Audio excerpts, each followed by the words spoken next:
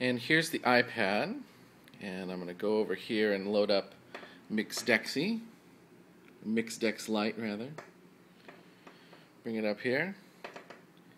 We have our sequencer going, so I'm going to get some sound started here.